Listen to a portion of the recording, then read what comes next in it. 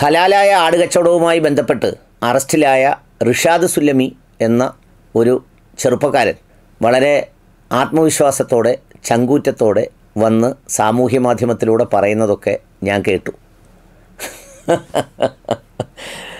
എനിക്ക് ഒരുപാട് ഇഷ്ടമായി.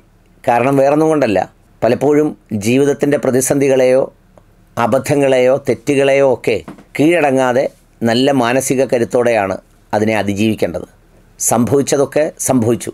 ഇനിയും തിരുത്താൻ ഒരുപാട് അവസരങ്ങളുണ്ട്. അതുകൊണ്ട് തന്നെ ആ അവസരങ്ങളെ വളരെ ഫലപ്രദമായും മനോഹരമായും ഉപയോഗിക്കുക എന്ന് പറയുന്നതാണ് യഥാർത്ഥത്തിൽ ഒരു കരുത്ത്. ആ അർത്ഥത്തിൽ അദ്ദേഹം ഒരു കരുത്തൻ തന്നെയാണ്. എന്നെ സംബന്ധിച്ചിടത്തോളം റിഷാദ് സുല്ലമി എന്ന വ്യക്തിയായിരുന്നില്ല വിഷയം. അല്ലെങ്കിൽ ഇനി വേറെ ഏതാണ്ട് ഹിസാനി സാലിഖ് ഹിസാനി അങ്ങനെ എന്നൊക്കെ പറയുന്ന ആരൊക്കെയോ ഒക്കെ പേരുകളൊക്കെ പറയുന്നുണ്ട്. ആ പേരുകളൊന്നും ആയിരുന്നില്ല എന്റെ വിഷയം.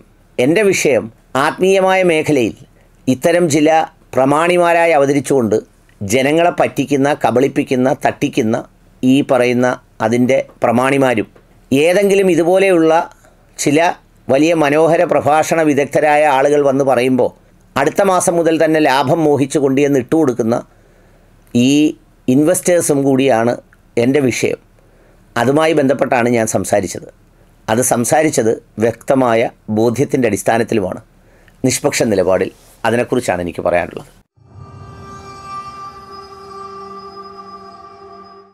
റിഷാദ് സുല്ലമി എന്ന ഒരാൾ കഴിഞ്ഞ ദിവസം ഈ ആട് കച്ചവടവുമായൊക്കെ ബന്ധപ്പെട്ട് തട്ടിപ്പുമായൊക്കെ ബന്ധപ്പെട്ട് അദ്ദേഹത്തിന്റെ പങ്കെന്താണെന്നൊക്കെ ഉള്ളത് ആ പോലീസ് സ്റ്റേഷനിൽ തന്നെ അരീക്കോട് തന്നെ തിരക്കിയാൽ അറിയാവുന്നതാണ്. അദ്ദേഹം റിമാൻഡിലായിരുന്നു. അദ്ദേഹം കഴിഞ്ഞ ദിവസം ഒരു ദിവസം പുറത്തിറങ്ങി. പുറത്തിറങ്ങിയ ശേഷമാണ് അദ്ദേഹം വളരെ ആത്മവിശ്വാസത്തോടെ ഈ വീഡിയോ ചെയ്തത്. ആ വീഡിയോ വളരെ ആത്മവിശ്വാസം തുളുമ്പുന്ന ഒരു ശൈലിയിൽ തന്നെ വേറെ സംഘടനക്കാരും അല്ലെങ്കിൽ വേറെ ആളുകളും വ്യക്തിപരമായ വിരോധികളുമൊക്കെ ചേർന്ന് ആക്രമിക്കുന്നു എന്നാണ് പറഞ്ഞത്. പിന്നെ അദ്ദേഹത്തിന്റെ ഫോട്ടോ ഉപയോഗിക്കുന്നതിനെക്കുറിച്ചുമൊക്കെ അദ്ദേഹം പറഞ്ഞിട്ടുണ്ട്. എന്റെ പ്രിയപ്പെട്ട ഋഷാദെ താങ്കളുടെ കളർ പടം വെച്ച് ഇഷ്ടംപോലെ ഫോട്ടോകളും വാർത്തകളും വീഡിയോയും ഒക്കെ പുറത്തിറങ്ങിക്കഴിഞ്ഞു. ആ പുറത്തിറങ്ങിയ വാർത്തകളിലും വീഡിയോകളിലുമൊക്കെ താങ്കൾക്കുള്ള പങ്കെന്താണെന്നും പിന്നെ താങ്കൾ ഇതിൽ ഒന്നും അറിയാത്തൊരു പിഞ്ചു കുഞ്ഞായിരുന്നോ എന്നും ഒക്കെ ഒക്കെ അറിയാവുന്നതാണ്. എന്നു മാത്രവുമല്ല താങ്കൾ എന്തൊക്കെ വാക്സാമർത്ഥ്യത്തിൽ ആരോടൊക്കെ പറയാൻ ശ്രമിച്ചാലും പോലീസ് അന്വേഷണത്തിന്റെ ഒരു റിപ്പോർട്ടിന്റെ അടിസ്ഥാനത്തിൽ റിമാൻഡ് റിപ്പോർട്ട് തയ്യാറാക്കുന്ന കോടതി അതിന് മതിയായ കാരണങ്ങൾ ഉണ്ടെങ്കിൽ മാത്രമേ ഒരാളിനെ റിമാൻഡ് ചെയ്യുള്ളൂ. അല്ലാതെ വെറുതെ വഴിയിൽ നിൽക്കുന്ന ആരെയെങ്കിലും എന്തിന്റെയെങ്കിലും അടിസ്ഥാനത്തിൽ പ്രത്യേകിച്ച് താങ്കളെപ്പോലെ സ്ഥലത്തെ പ്രധാന പയ്യൻസിൽ ഒരാളായ താങ്കളെ ഒന്നും അങ്ങനെയൊന്നും ആരും ഒന്നും ചെയ്യില്ല. എന്റെ പോയിന്റ് റിഷാദ് സുല്ലമി എന്ന വ്യക്തിയല്ല. ഇതുപോലെയുള്ള ഒരുപാട് സുല്ലമിമാരോ അല്ലെങ്കിൽ മറ്റ് ഡിഗ്രിയുള്ള ആളുകളോ ഒക്കെ ഈ നാട്ടിൽ പല പേരുകളിൽ പല തട്ടിപ്പുകൾ ഹലാൽ എന്ന പേരിൽ നടത്തി സുഭിക്ഷമായി ജീവിക്കുന്നുണ്ട്.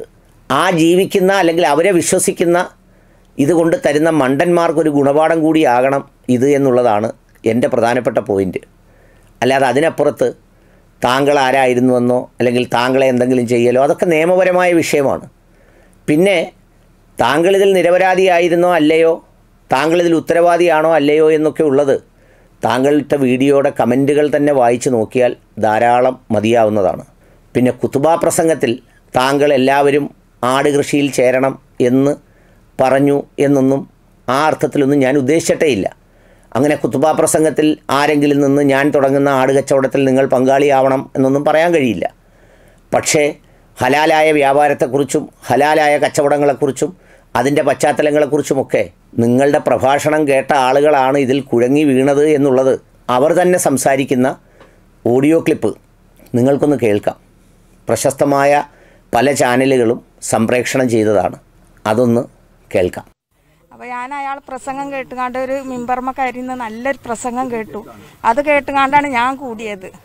നല്ല പിന്നെ വാപ്പാനും ഇമ്മാനെയൊക്കെ നല്ല നോക്കണം എന്ത് കാര്യം ഉണ്ടെങ്കിലും വാപ്പാരോട് ചോദിച്ചിട്ടേ നമ്മൾ ചെയ്യാൻ പാടുള്ളൂ. ഒരാളെ വഞ്ചിക്കരുത് അങ്ങനത്തെ ഒക്കെ പ്രസംഗം കേട്ട് അത് കേട്ടുകാണ്ടാണ് ഞാൻ കൂടിയത്. കേട്ടല്ലോ അവരതിൽ പറയുന്നുണ്ടല്ലോ മനോഹരമായ പ്രഭാഷണം ദീന് അല്ലെങ്കിൽ അത്തരം കാര്യങ്ങളൊക്കെ. നമ്മുടെ സമൂഹത്തിൽ ഇത്തരം ചില വിശ്വാസങ്ങൾ വ്യക്തിപരമായും സംഘടനാപരമായും ഒക്കെ ഒരുപാട് പേരെ കുഴപ്പത്തിൽ ചാടിച്ചിട്ടുണ്ട്. എന്റെ കയ്യിൽ ഇതുപോലെ ഈ പറയുന്ന മതത്തിന്റെ മേൽവിലാസവും ഡിഗ്രിയും ആ വേദികളും പ്രയോജനപ്പെടുത്തി ഒരുപാട് സഹ ഉസ്താദുമാരെയും ഇമാമുമാരെയും വിശ്വസിക്കുന്ന അനുയായികളെയും കബളിപ്പിച്ച ധാരാളം പേരുണ്ട്. താങ്കളുടെ ആ കരുത്തൊക്കെ കണ്ടപ്പോൾ വേണമെങ്കിൽ അത്തരം ആളുകളുടെ ഒരു സംഘടന രൂപീകരിക്കാനുള്ള ഒരു വൈഭവവും കഴിവുമൊക്കെ ഉണ്ടെന്ന് ആ വീഡിയോ കണ്ടപ്പോൾ എനിക്ക് തോന്നിപ്പോയി. ഇനിയും ഒരുപാട് വിവരങ്ങളുമായി ഒരുപാട് ആളുകൾ വിളിക്കുന്നുണ്ട് തരാമെന്ന് പറയുന്നുണ്ട്. അതൊന്നും തന്ന് താങ്കളെ ഈ വീഡിയോയിലൂടെ വാദം നടത്തി പ്രതിയാക്കി താങ്കൾക്ക് ജീവപര്യന്തം ശിക്ഷ വാങ്ങിച്ചു തരിക എന്നൊന്നും പറയുന്നത് എന്റെ ദൗത്യമല്ല. ഇങ്ങനെ ഉണ്ടായ ഒരു വിഷയത്തിൽ പ്രതികരിച്ചു എന്ന് മാത്രമേ ഉള്ളൂ. പിന്നെ ഈ കെണിയിൽ അകപ്പെട്ടവരുടെ ലിസ്റ്റുകളും വാട്സപ്പ് ഗ്രൂപ്പ് കൂട്ടായ്മകളും ഒക്കെ ഉണ്ടായി വരികയും അവരുടെ ലിസ്റ്റുമൊക്കെ എന്റെ കയ്യിലുണ്ട്. ആ ലിസ്റ്റൊന്നും ഞാൻ തൽക്കാലം ഇതിലൂടെ കാണിക്കുന്നില്ല. കാരണം അതൊന്നും എന്റെ പ്രശ്നമല്ല. അതൊക്കെ കാശ് പോയവർ തന്നെ അവരവരുടെ മാർഗത്തിൽ അത് തിരിച്ചു പിടിക്കാൻ എന്താണ് മാർഗമെന്നുള്ളത് നോക്കേണ്ടതാണ്. താങ്കൾ വലിയ ഗീർവാണം പോലെ പറയുന്നു. താങ്കളും ഇതിലൊരു കക്ഷിയാണ്. ഇത് പണ്ട് കാലം മുതലേ വിസ തട്ടിപ്പുകാരും പറയുന്നതാണ് ഋഷാദ് ആളുകളുടെ മുഴുവൻ കാശ് വാങ്ങിച്ചിട്ട് അതുകൊണ്ട് കൊടുത്ത അറബി മുങ്ങി. അവൻ എന്നെ പറ്റിച്ചു. അവൻ കള്ളറബി. അവനാണ് ഇതെല്ലാം ചെയ്തത് എന്നൊക്കെ പറഞ്ഞ് പറയുന്ന പല കാര്യങ്ങളുമുണ്ട്. പക്ഷേ നിങ്ങളെപ്പോലെയുള്ള ഒരാൾ ഒരു സംഘടനയുടെ മേൽവിലാസത്തിൽ ഒരു ഡിഗ്രിയും കയ്യിൽ വെച്ചുകൊണ്ട് അതേ വേദികളിലൊക്കെ സംസാരിച്ചിട്ട് നിങ്ങൾ ഇത്തരം ആളുകളെ മുഴുവൻ സാമ്പത്തികമായി പറ്റിക്കുന്ന ഒരു പ്രവൃത്തിയുടെ ഭാഗമാകാൻ പാടില്ലായിരുന്നു. അതിന്റെ സാമ്പത്തിക വിവരങ്ങളും കണക്കുകളും ഒക്കെ പോലീസിന്റെ ഉണ്ടാവും കോൾ ലിസ്റ്റുമൊക്കെ അത് അവർ പരിശോധിച്ചോളും. എന്തായാലും താങ്കളെപ്പോലൊരു നിരപരാധിയെയാണ് അറസ്റ്റ് ചെയ്തതെങ്കിൽ നമുക്ക് മനുഷ്യാവകാശ ലംഘനത്തിനും അതുപോലെയുള്ള കാര്യത്തിനുമൊക്കെ നമുക്കൊരു കേസ് കൊടുക്കാവുന്നതാണ്. പിന്നെ എന്റെ ചിരിയെക്കുറിച്ച് പറഞ്ഞു.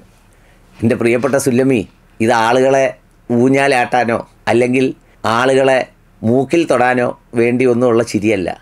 സ്വതസിദ്ധമായി വരുന്നതാണ്. കൃത്രിമമായി എന്റെ ചിരി കണ്ട് ഒപ്പം ചിരിച്ച് താങ്കളുടെ ഒരു മാനസിക നിലയ്ക്ക് ഊർജം വരുമെങ്കിൽ എനിക്ക് സന്തോഷമേ ഉള്ളൂ.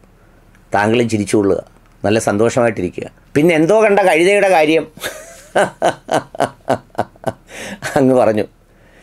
എന്റെ സുല്ലമി നമ്മൾ സാധാരണ പറയും കാഷ്ടം ചിലപ്പം മനുഷ്യനോ മൃഗങ്ങളോ ഭക്ഷിച്ചു പോവും. എന്നാലും അർഷസിന്റെ അസുഖമുള്ളവരുടെ ഇത് ഭക്ഷിക്കരുതെന്ന് പറയും. എന്ന് പറയുന്ന പോലെ ഈ പാവങ്ങളായ അത്തപ്പാവികളായ ജീവിക്കാൻ എന്തെങ്കിലും ഒരു ലക്ഷ്യമാണെന്ന് വിചാരിച്ച് നിങ്ങളുടെയൊക്കെ അലക്കിത്തേച്ച വർത്തമാനവും ഇസ്തിരിയിട്ട് പശമുക്കിയിട്ടിരിക്കുന്ന കോൺഗ്രസ് പാർട്ടിക്കാരുടെ കതറും മുണ്ടിന്റെയും ഉടുപ്പിന്റെയും ഒക്കെ തിളക്കം പോലെ ഇരുപത്തൊന്ന് ഗ്രാം വളരെ ലക്ഷണമൊത്ത ഏറ്റവും മനോഹരനാണ് എന്നൊക്കെ വിചാരിച്ചാണ് ഇതുകൊണ്ട് തരുന്നത്.